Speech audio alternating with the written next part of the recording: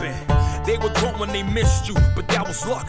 They coming through tomorrow, shorty, that's what's up. Cock back, they dang dang. Hit you with the bang bang. Stand over your body and hit you with the same thing. Dig a hole, dig a hole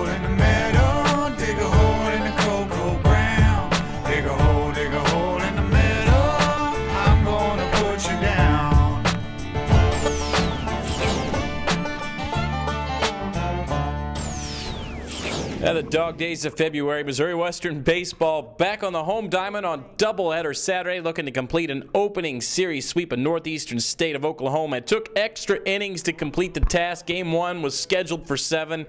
It went 11 instead. St. Joseph native Will Carter, the hero in game one, he smacked a game-tying double in the eighth, and then he won it in the bottom of the 11th with a two-out walk-off solo homer. Griffons would take game one, 6-5 the final. Game two went to scheduled seven. Sophomore Dylan Rhodes tossed five scoreless innings in his first career start for the Griffons as they take game two, 6 to 2. Western completes the four game sweep of the Riverhawks, and the defending MIAA Conference champions are off to a perfect 4 0 start in league play. They're 6 and 3 overall. It's a great weekend for a team that had struggled to find its footing in the early season. It's important to earn the respect of your coaches and and really learn who you are as a team.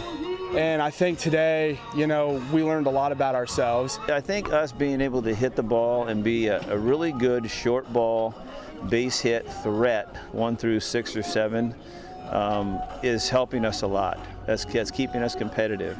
The thing we haven't been doing so well is we haven't played very good defense. We've gotten we've gotten enough. Double, our pitchers have done a fabulous job of getting double play balls and and you know balls that you just have to turn.